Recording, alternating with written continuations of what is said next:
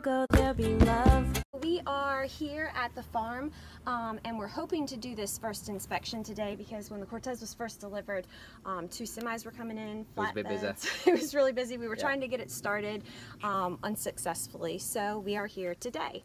So yep, we're just going to give you a quick tour around the bus, um, inside and out, let you know what we've discovered initial, initially, um, and then we'll probably discover a ton more things that are faulty and broken when we uh, when we get to it. But yeah, we're just going to give you a quick look around inside and out. Here we go.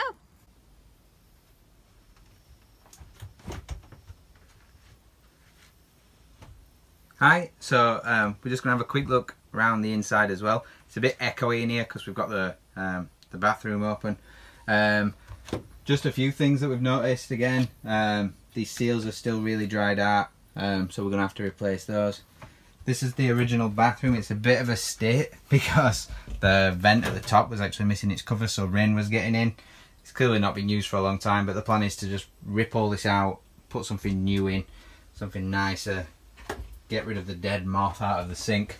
Um, just put something a bit more fresh and clean in there as well. All these are original uh, storage wardrobes. Everything's in there. Don't know really why we're going to work that, but we'll we'll come up with a solution. More storage in here. This is the original Magic Chef fridge freezer. Um, we've not had it running, but I Does doubt. that open? Yeah, I mean, some. Oh, it's here. Ah, There we go. So we've got great. enough for a million ice cubes and some eggs, so that's cool. Um, we've got more storage up here. These are really low. I've already smacked my head on one of these a couple of times. Um, we've got this uh, original uh, Sentinel heater. Again, we'll probably replace that. It looks horrendous on the front. It actually looks like it's covered in carpet, which is weird. um, there's some more storage in here. We've got this little oven. Um, it's not a bad size. I don't know what we do. Probably clean it and get rid of it. I guess three stove, three burn stove. Mm-hmm. Um, it's a bit big for what we'll probably need. I guess. I like it. Okay. I want to cook a lot. Okay. Here we go. That's what bonfires are for. Yeah, I want to Um, cook there too. We've got this sink. We've not ran any of the water or anything running, but it's not a bad size. I don't know if we need all this. Yeah. Um, the, oops.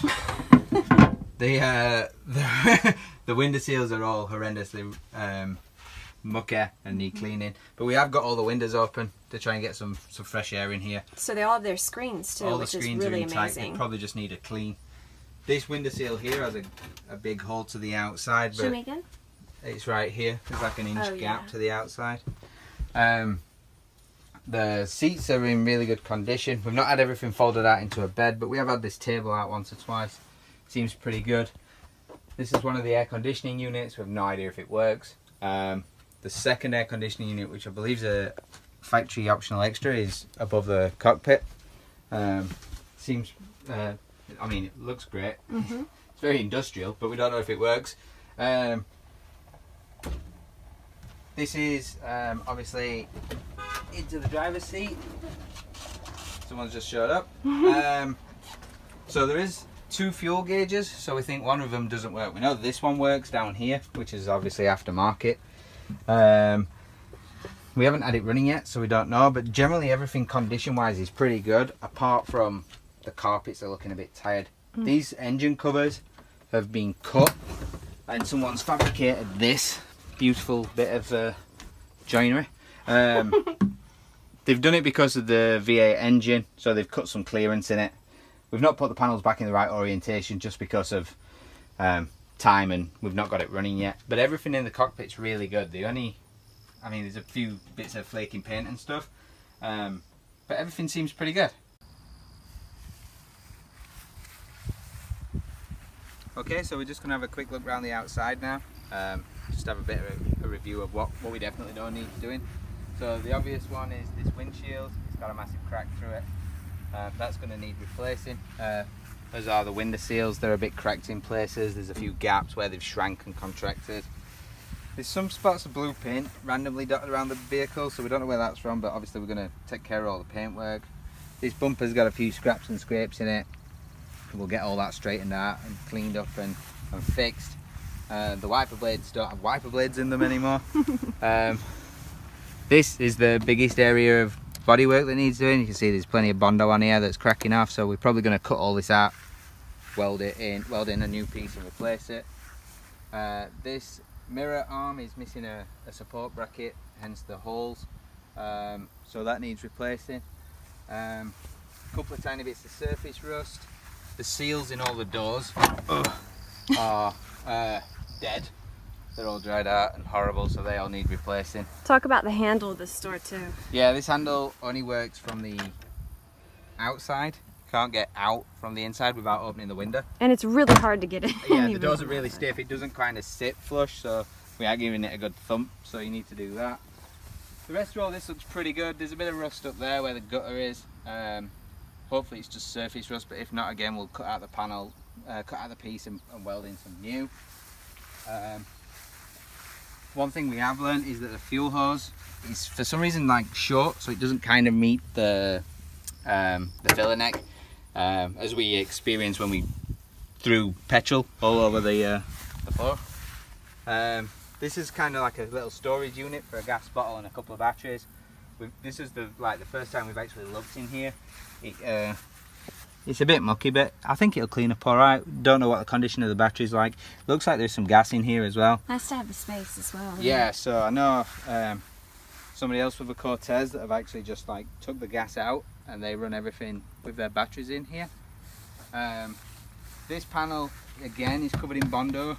Um, we're probably going to cut all, well, get all this Bondo off and have a look and then cut out an, a new panel and put it in all this sort of stuff, the bolts, nuts and everything and the chrome, we're probably going to get re-chromed and cleaned up.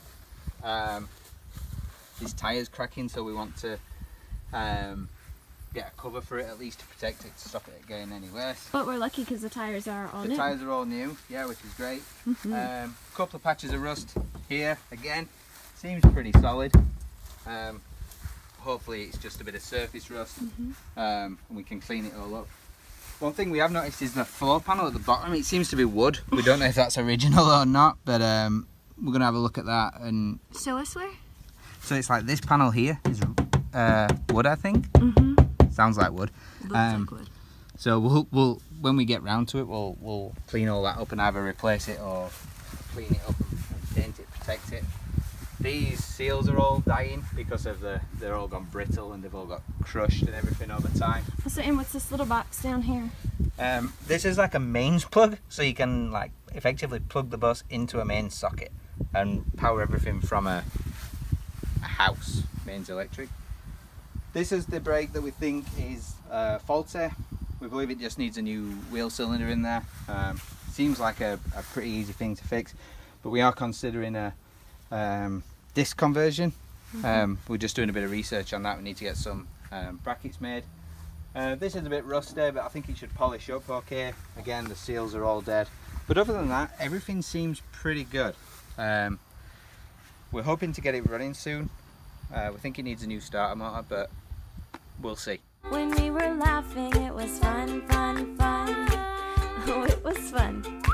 So it's day two at the Cortez and we are doing what we promised, which is our first inspection. So I'm gonna let Andrew take over. Go ahead.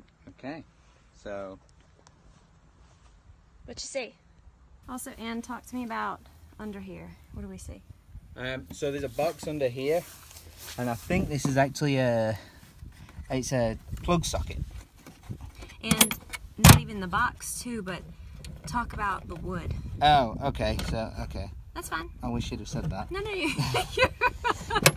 Before I messed about with this lid I can't see. Okay, no, we're not looking at that because this is soaking wet, and I told her about it.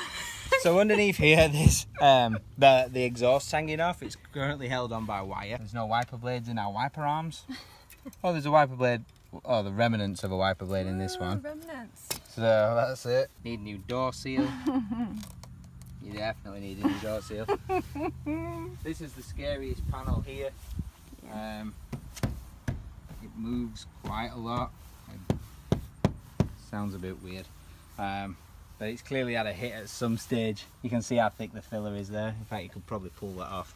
I don't know how wise it would be to do that. Yeah, we'll leave it for now, I think. But um, it's not the end of the world. Um, so, yeah. So far, so good.